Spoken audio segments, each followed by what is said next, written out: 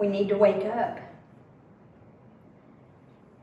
So many never realize that they need to study for themselves or possibly be deceived. Numbers and wealth and emotional spiritualism within a movement or denomination does not equal truth. Every human has the right to pick up the Word of God and study it for himself.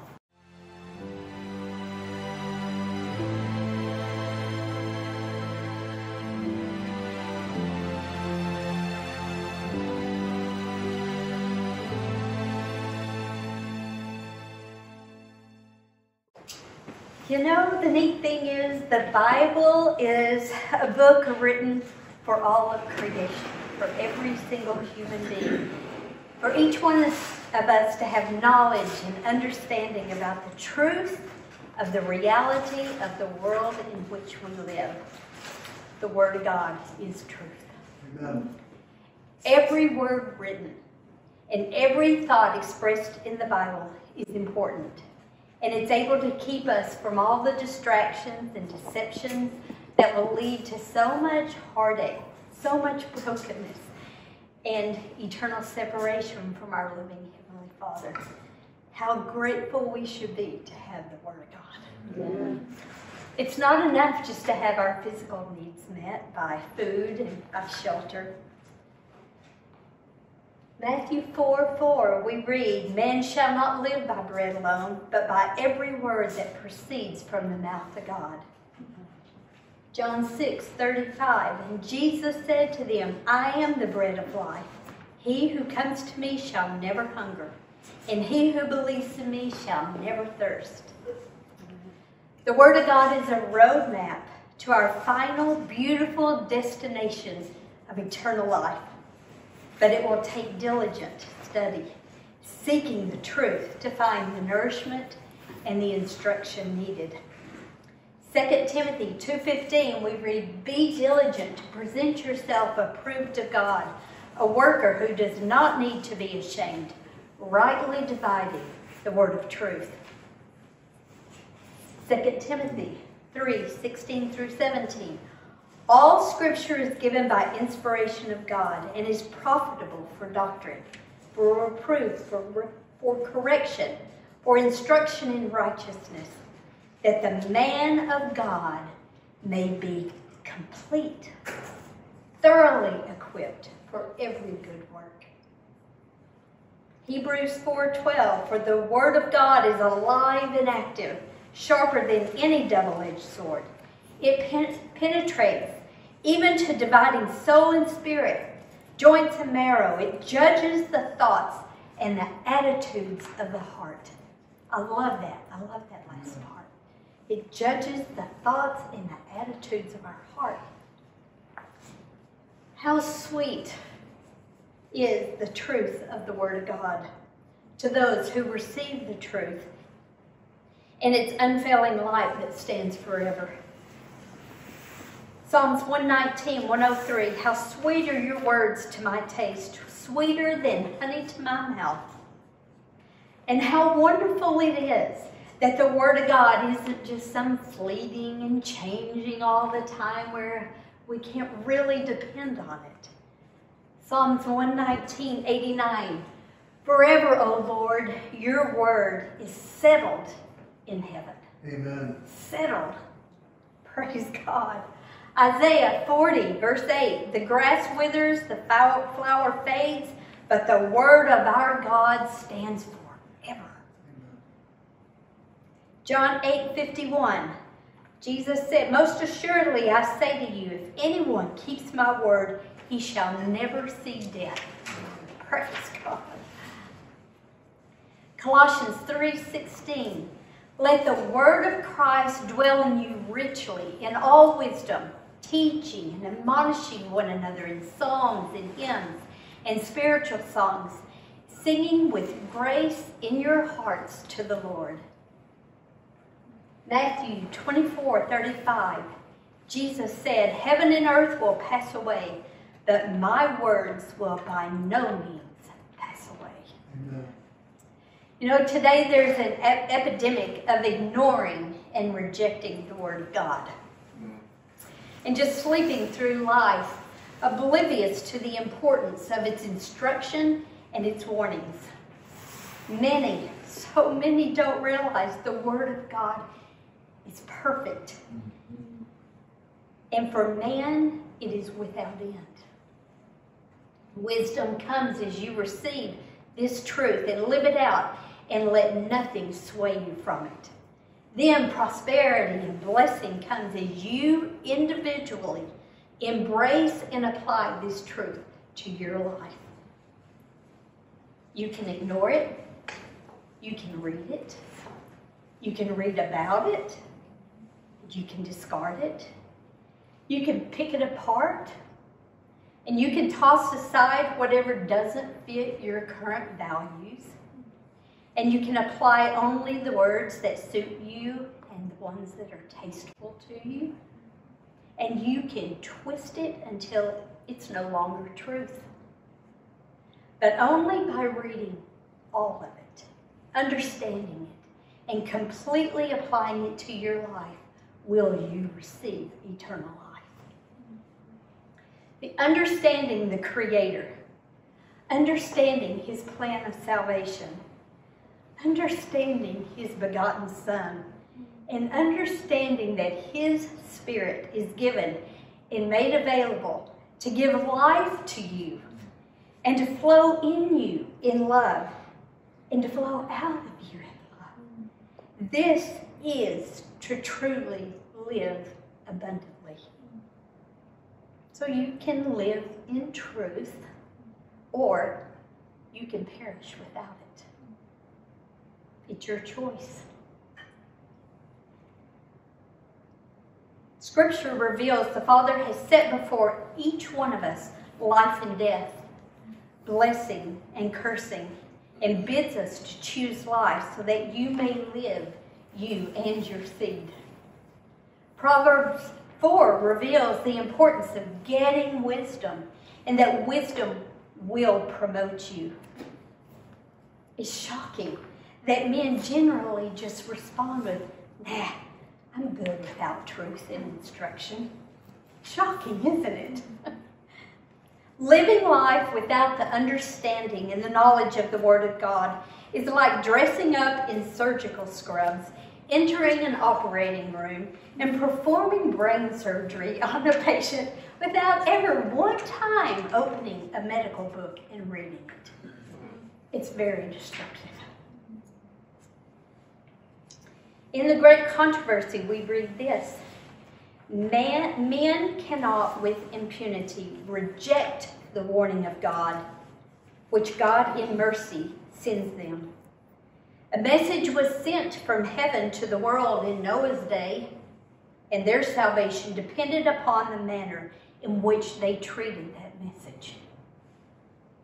Because they rejected the warning, the Spirit of God was withdrawn from the sinful race, and they perished in the flood the waters of the flood. In the time of Abraham, mercy ceased to plead with the guilty inhabitants of Sodom, and all but Lot, with his wife and two daughters, were consumed by the fire sent down from heaven. So, in the days of Christ, the Son of God declared to the unbelieving Jews of that generation, Your house is left to you desolate that's really sad words to hear. And looking down to these last days, the same infinite power declares concerning those who receive not the love of the truth that they might be saved. For this cause God shall send them strong delusion, that they should believe a lie, that they all might be damned who believe not the truth but have pleasure in unrighteousness. 2 Thessalonians 2 10 through 12. As they reject the teachings of His Word in this last day, God withdraws His Spirit and leaves them to the deceptions which mm. they love. So the Bible explains it all. And then the Father and his begotten Son make it a daily reality for us. It tells us of the past, it tells us of the present, and it tells us of the future.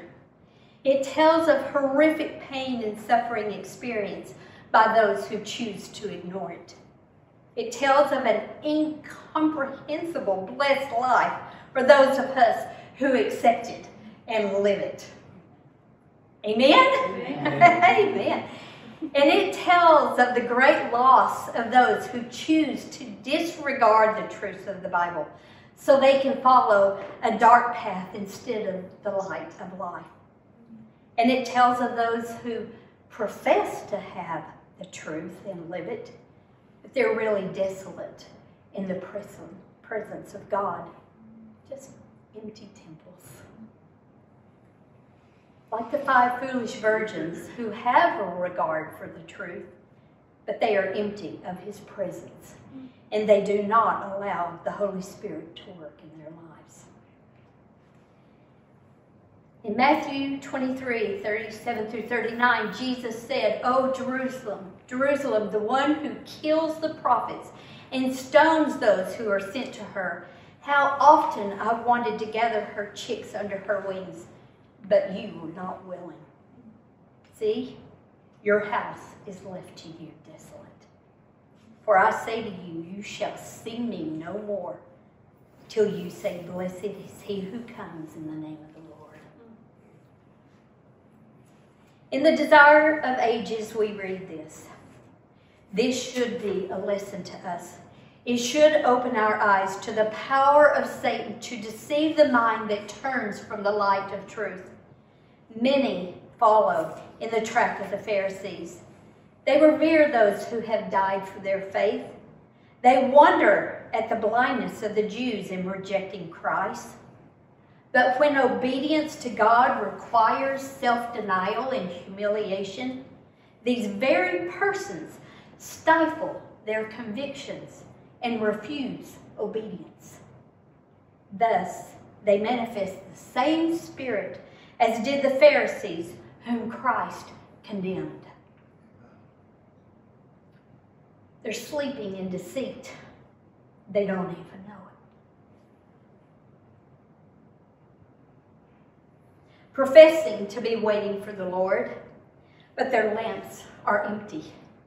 How can this be? They're lulled to sleep by the enemy. See, Satan is the enemy of the author of life, our Heavenly Father, who is the only one who has life and can give it to his creation. He's the only one who has life and can give it to each one of us. And it's always shocking to me to think of Satan, who wants to have his throne above the one true God. He doesn't even recognize the very one who created him and is the very source of life for him. And the very one who will take that life away from him one day. Hallelujah. How confused he must be to place himself above his creator and his daily sustainer of all that provides life to him. But you know what? So many people forget who is the daily sustainer of life for them. Who is it that provides life and breath to you this very day? Just forget it. It's amazing. How do believers become lulled to sleep? How can they forget to recognize and remain connected to the source of their very breath, their very life? They don't recognize their condition. They don't get it. Maybe because they're content, content with their rituals, their elaborate pomp and circumstance and tradition that just puts them in a satisfied stupor of sleep. See, you can live your life under much sleep-inducing rituals and traditions that has absolutely nothing to do with the author of creation. no intimate fellowship with the Father or his Son, completely ignoring the one who reigns on high, he who gives you your breath at this very moment and determines your eternal life or your eternal separation. The Bible is to be highly regarded. Psalms 119, verses 104 through 105. Through your precepts I get understanding.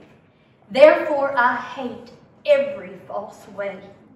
Your word is a lamp to my feet and a light to my path. Amen. In Psalms 32, verse 8 through 9, the Lord promises, I will instruct you. I will teach you in the way you should go. I will guide you with my eye. Do not be like a horse or like the mule, which have no understanding, which must be harnessed with bit and bridle, else they will not come near to you. The words written in the Bible are for all creation, to recognize the Creator in His everlasting, beautiful ways. Some words in the Bible are specifically for the world and warnings for discarding its truth. Some of the words are specifically for the family of God, for encouragement, for instruction, for hope for us. In John 17 17, Jesus is praying to the Father. And he's praying in this verse for the family of God.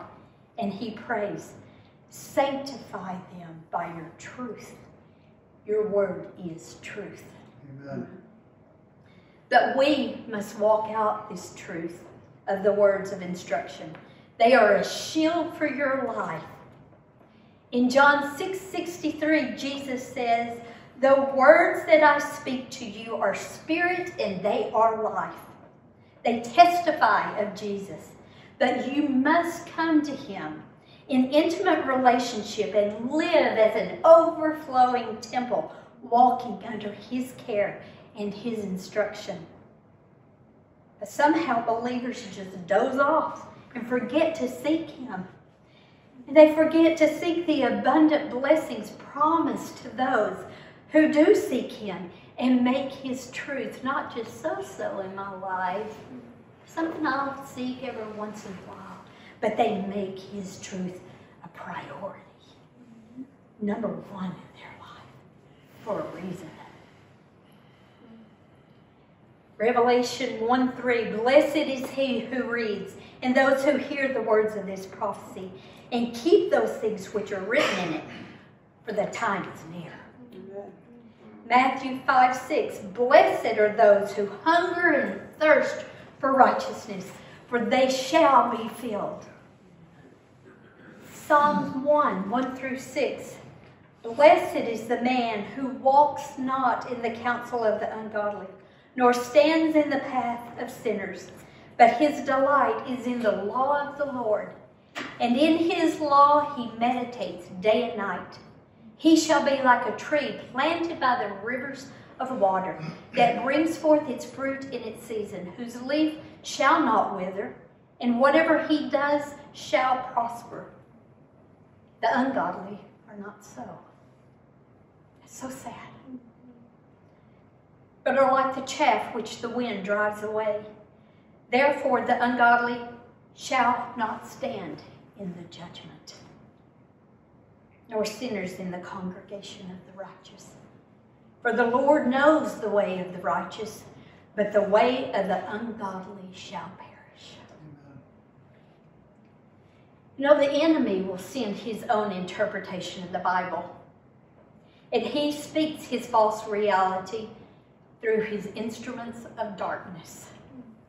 And he has a purpose for this to deceive you and to tempt you to believe his lies. He greatly twists the truth of the kingdom of God. And he attempts to hide the truth and to destroy those who love truth and will live it. He hates them. He hates them that's not a reason to stop loving the truth. In John 17, Jesus prays for his own who received his words. He prays that they become one with the Father and the Son. He prays for these who are the family of God, the ones who receive the truth and live it. John 17, 14 highlights that they are hated for receiving the words of God and they're persecuted. He prays to the Father and says, I have given them your word, and the world has hated them because they're not of the world, rejecting the word, just as he's not of the world. See, those who hate and persecute are desolate, empty temples. But the family of God can rejoice through the hate and the persecution because the day will come. He will return. He Amen. will take those who love his word and live it home with him. Amen. Hallelujah. Those who hate and persecute are empty because they reject the way, the truth, and the life. They love the lies of the enemy. And there is one who hates truth the most. You know who that is? The ancient serpent, the devil. He has perfected his artful schemes of taking each human up on the mountain and tempting each one with wealth and all that dazzles, tranquilizes, blinds, and utterly destroys any and all hope and chance for manifestation of the truth and its resulting glory in their lives. There is truth. And the Bible is the instruction book of hope, salvation, and life. There is one author of life, and then there's the deceiver. You have a choice to make. But the Father is just, and his angels record in the records of heaven what you have chosen to be your guide and your resulting actions and your resulting behavior. Ephesians 5 6, we read, Let no one deceive you with empty words, for because of these things the wrath of God comes upon the sons of disobedience. So many are asleep so many believe they have the truth when they only have false reality, rituals, and so many traditions. So many are empty, like the empty temples of the five foolish virgins. They're deceived with worldly philosophy in empty words. Colossians 2 8. Be, be aware, beware lest anyone cheat you through philosophy and empty deceit, according to the traditions of men, according to the basic principles of the world, and not according to Christ. So many are being so deceived. In the Dark Ages, the word was hidden. The written word was hidden, so man couldn't study it to find the truth. Evil ruled during this dark time as it attempted to extinguish the truth. See, Satan's goal is to completely put out the truth. Completely put out the truth. He doesn't want a speck of it in you, in me, in anyone. He wants us in complete darkness. He wants you he wants to keep you from having truth. He wants instead to trick you to believe his version of the truth, which has not one ounce of truth or light in it. Amen. Not one ounce. It is complete darkness. Jeremiah 9 6 reads, Your dwelling place is in the midst of deceit. Through deceit, they refuse to know me, says the Lord.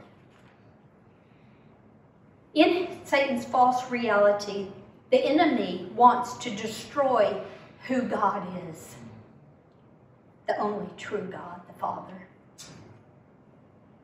And then he tries to destroy who the Son is, the begotten Son. In all of his schemes, Satan gets your emotions involved. Never forget that. He gets your emotions all stirred up. Someone may present to you a belief or something they've been studying in the Bible. If you're not ready to hear it and don't really care about truth, you may emotionally react to them coming to you with truth. And you may say things like this Well, my grandfather said this was truth. Can you prove it in the Word? Satan knows what a powerful influencer emotions are. See, some will leave the truth behind, the very truth of the kingdom of God, the truth that determines their eternal life or their eternal darkness. And they will leave the truth behind because Satan has deceived them and will continue to deceive them through their emotions by saying things like this. Well, my favorite teacher says this is truth. My favorite preacher says it's truth. It's got to be truth. My grandma was a staunch Catholic, and oh, I loved her. I can't question what she taught me. Well, my family has attended this church for years. Or, uh, what about this one? Well, I went to school to learn theology. Do I dare question what I studied? No, I must hold on to whatever they taught me, even if it's blatant lies from the enemy. No matter if it's truth or not, for the sake of my degree and my position. They never pick up the word for themselves and study it to prove the truth. They're asleep and they're led by whatever they are told, by whatever their emotional influencer tells them. They're just desolate temples without the presence of God instructing them and guiding them. See, Jesus walked on earth and he taught, he taught the truth, the Word of God. But they rejected the Word of God. They rejected the truth. And because they rejected him who was sent, their temple became desolate. In these last days, we must be warned about being emotionally tied to a specific denomination without seeking truth of whether what they are teaching is truth or not. If you call yourself a believer, you need to pick up the Bible and prove your beliefs by the written word of God. Amen.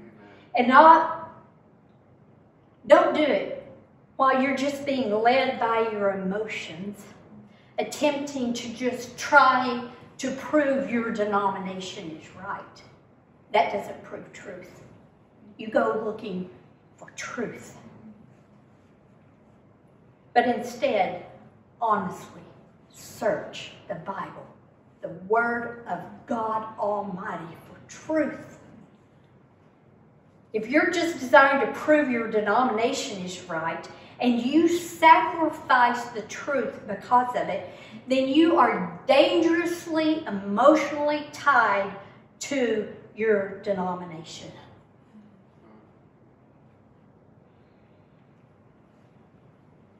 But this this question Is this emotional tie to your denomination or to false teaching worth losing your eternal life? It may bring you temporal satisfaction. It might give you prestige within your group to hold on to that false teaching. It may be great, that church may be great at providing all kinds of social fun and social connections for you while you reject the truth. But it also, that church, that denomination may have hidden within it lies of the enemy so dark that God Himself has had to walk out the doors and leave it desolate. If He was ever there to start with. In the great controversy, we read this Whatever is built upon the authority of man will be overthrown. But that which is founded upon the rock of God's immutable word shall stand forever. Amen. We must seek truth and set aside emotions. We must set our hearts like flint and desire truth above all else. Otherwise, we can get distracted and think thoughts like this. Oh, but look how big and wealthy the Catholic system is. Look at all its political power. You know what? Satan can give all of that wealth and all of that political power just to deceive and to entice. May, may lead you to think things like, well, look how many Protestant churches there are in my town, almost on every corner. And the Word of God warns do not be deceived. Satan will attempt to, just, to deceive the very elect. Now, I mentioned earlier the Dark Ages and it, how exceptionally blessed we are to have available to us the written Word of God. Some may not realize the tragedy that happened in the Dark Ages, the time leading up to the Dark Ages, the Dark Ages, and the time, the years following. See, after the resurrection and ascension of Jesus, the truth he taught while on this earth was a blazing light in the early apostolic church. But very quickly, the enemy began his usual evil attack on the truth. And gradually, for several centuries, the church began to be eclipsed by pagan traditions mingled with truth. Until finally, truth was snuffed out. the apostolic church, which had been a fortress of truth, deteriorated into a corrupt political organization at the hands of the Roman government. Amen. They took the truth and they twisted it to meet their own selfish desires and evil agenda. They developed a religion that they call Christianity, but in reality, it's nothing like the truth of the kingdom of God. Nothing. It has no, not one ounce of truth in it. I want to take just a few minutes to list a few examples of the way the enemy twisted the truth through the Roman church. The Roman church, yes, the one that hated and persecuted believers of the truth of the kingdom of God When I put the pictures up there, the pictures on the left depict the Roman ideas. The pictures on the right depict the Word of God. Number one, the Bible doesn't regard Mary as a special saint. The Bible regards Mary as a pure woman honored by God to give birth to the Messiah. But in 325 AD, the Church of Rome elevated Mary at the Council of Nicaea to the stature of a goddess and co-mediator with Christ. They twisted the truth. Number two, in the Bible, baptism was a ceremony reserved only for those old enough to make a rational decision for Christ. It represented being dead buried to our old life, and being resurrected and born again to a new life in Christ. The ceremony was performed in a lake or a river where a person could be fully submerged. But the Roman church began to alter this ceremony. Sprinkling or pouring was the new alternative because it was more convenient. This contradicted the example of Jesus. The Roman church theologians further corrupted the baptism ceremony of the Word of God and decided the event of baptism could only happen to members of their church and was to happen to newborns in case they do, died soon after birth. Obviously, no decision was made by the infant. This change happened because Roman theologians decided that a child could go to sin, could sin right away, which is an unbiblical concept. Number three, the Roman church also altered the Lord's Supper that Jesus had instituted. I wish I had an hour to go into all that. Twisting of the truth. The Roman church introduced so many mystical pagan rituals, completely destroying the intent of Jesus of a beautiful and simple ceremony to remember his sacrifice and teaching. It's worth studying to find out the truth about the Lord's Supper.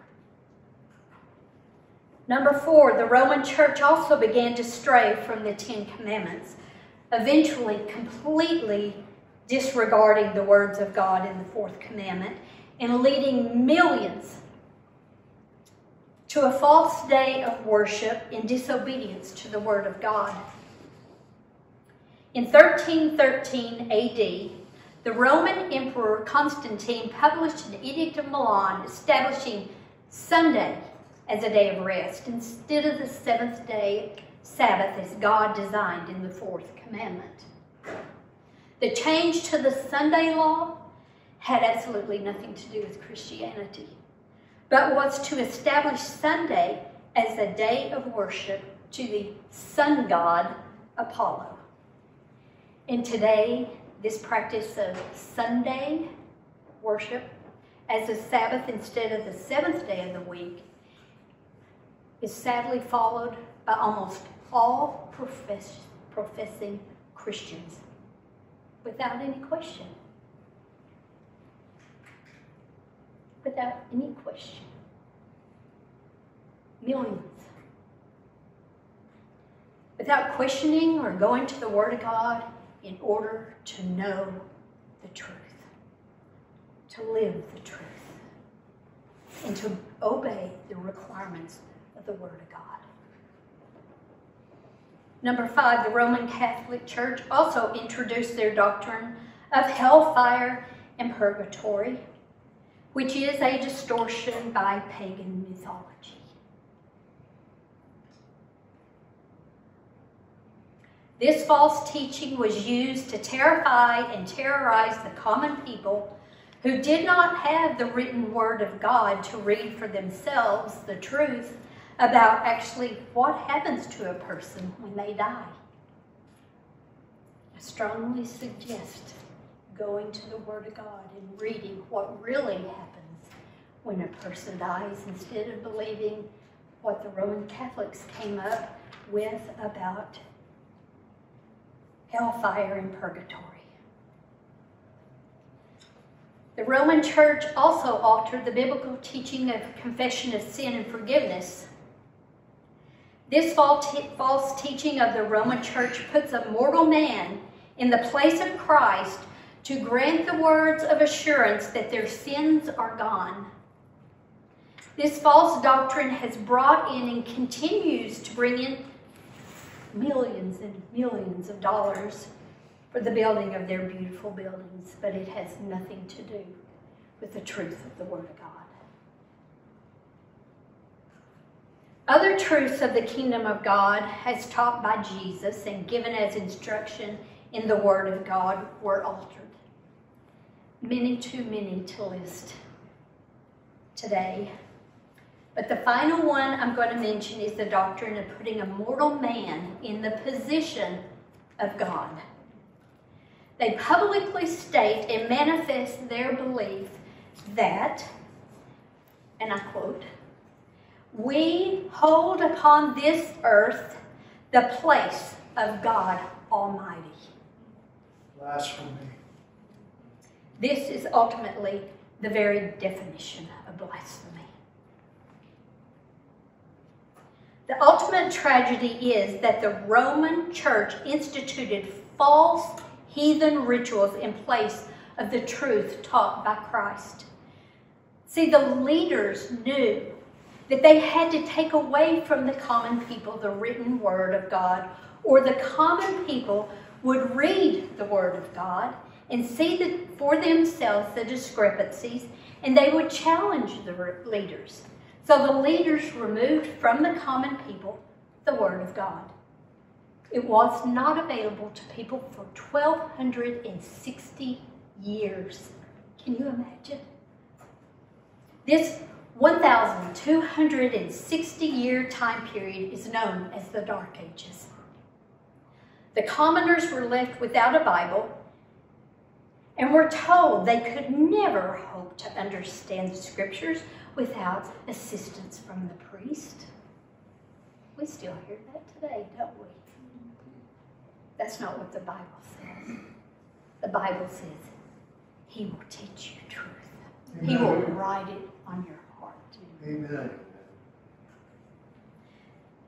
So, therefore, in the Dark Ages, the commoners were being kept in darkness by a corrupt political organization who deceived and hid the truth and changed worship to pagan gods and rituals. That time period was a time of horrible spiritual deterioration, much like today. Finally, the Word of God was printed again and made available. But the organization had made such an impact on this earth and in the minds and hearts of the people so much that today still reigns all of their false doctrines. And it reigns not only in their church, but the churches who have adopted their practices without even knowing they were doing it. It still reigns. And millions and millions have gone to their graves believing that was the truth. Instead of recognizing the lies and deceptions of the enemy and how he deceives them. Many today are still living this and need to wake up. Because today, thank God, the Bible is available and it's waiting for each and every one of us to pick it up and study for yourself to know the truth. Not just to blindly follow some pagan false religion.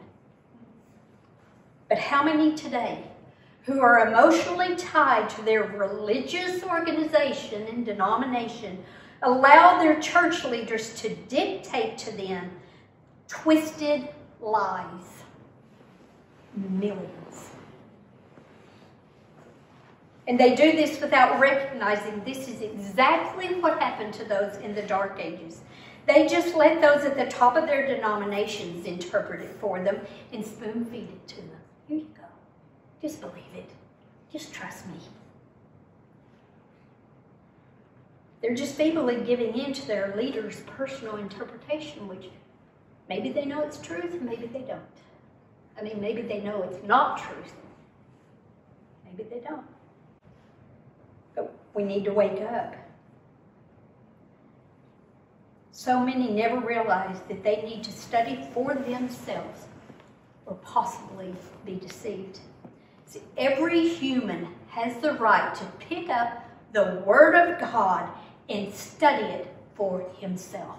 Amen. Every human. Don't let anyone tell you you do not have the right to pick it up, to question the beliefs of your denomination, and to find out the truth yourself. Amen. Not just blindly follow an organization or your favorite leader. 2 Timothy 2:15 Be diligent to present yourself approved of God, a worker who does not need to be ashamed, rightly dividing the word of truth. Why would someone not want to study the word of God so you have the truth? Maybe because, like I said, you're emotionally tied to your denomination and you're maybe afraid that the truth is not what your denomination is teaching. Maybe because grandpa could be shown to be wrong. Or maybe my favorite teacher, preacher, could be shown to be wrong. Or their school of theology could be shown to be teaching things that do not line up with the Word of God. And maybe they might say, well, that's just one issue that can't be that important. Besides, we have so many other good truths. No, every word of the Bible is important. Every word of the Bible is important. How does a mere human have the spiritual intelligence to know which truths are the most important and which truths are not. Spiritual arrogance to say, ah, I don't believe that's important. It's in the Bible, it's important. Amen. Maybe they're just being used by the enemy as an instrument of darkness to keep you from finding the truth.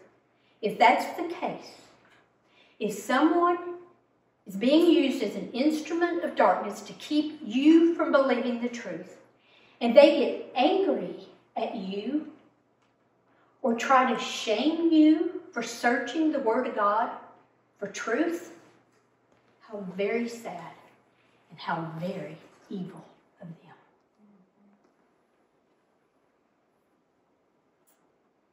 You know, when a person regularly drinks alcohol with their usual group of buddies, or maybe just with their spouse when they get home every single night.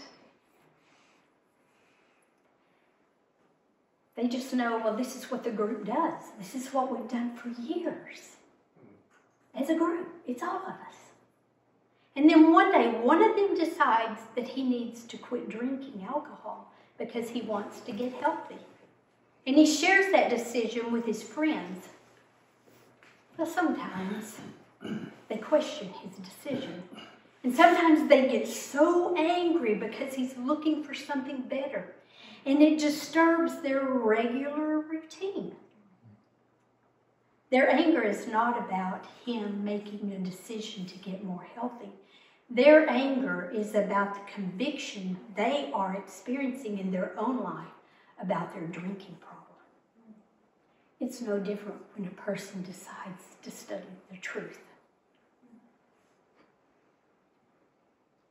It is amazing that so many people cringe and get angry. I mean, angry when you question a topic in the Bible that you've been given some thought about. Hmm. I'm not sure that's true. I'm going to start studying that for myself.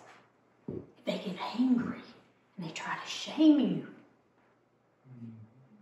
they won't listen to the person who is truly studying and seeking truth. They just rely on other people's opinions.